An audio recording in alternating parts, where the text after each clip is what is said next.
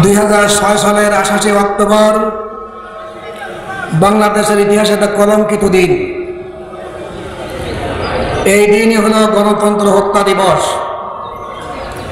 এই দিনের মাধ্যমে আস্তে আস্তে মানুষের আশ্রয়স্থল বিচার বিভাগকে প্রশাসনিক বিভিন্ন পর্যায়ের প্রতিষ্ঠানকে নিষ্ফল করা হয়। সম্মানিত দিনী ভাইরা,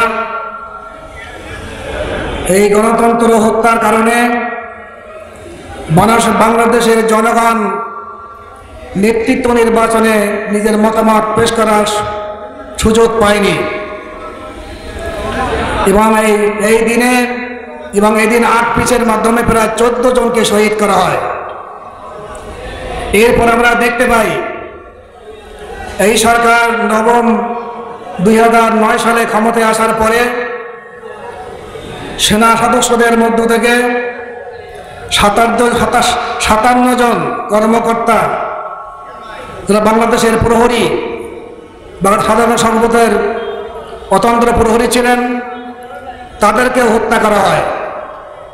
হেফাজতে ইসলামে ওই দিনে হাজার হাজার জনগতে জনগণকে গণহত্যা করা হয়। আবার দেখা যায় জামাত ইসলামের কেন্দ্রীয় নেতৃবৃন্দকে ইসলামকে ধ্বংস করার জন্য, ইসলামী আন্দোলনকে নষ্ট করার জন্য বিচারিক হত্যা করা হয়েছিল। আমরা দেখতে পেয়েছি তার কারণে ছাত্র জনতা সম্মিলিত হবে বৈষম্য বিরোধী আন্দোলনের মাধ্যমে।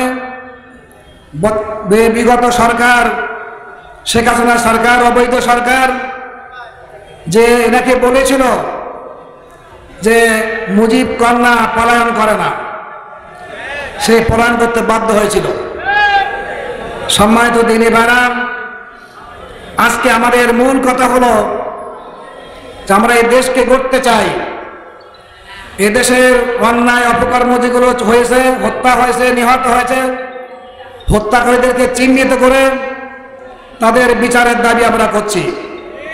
যদি সঠিকভাবে বিচার না হয় এদেশে সঠিক গণতান্ত্রিক রাষ্ট্র প্রতিষ্ঠিত হবে না।